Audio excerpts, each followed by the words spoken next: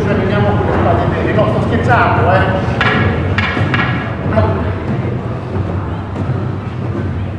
Mimo la tensione e la paura di trovarmi un pezzo di Marcantonio così davanti con un bastone.